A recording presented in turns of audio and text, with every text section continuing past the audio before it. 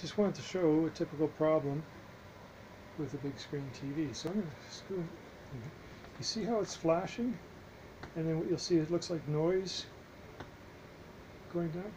So what happens is that on your HDMI connector over here, it just gets loose. So a lot of times you just have to plug her back in, and now we see that the problem is gone. No flashing, no noise, nothing. It's like the contacts get dirty. All right.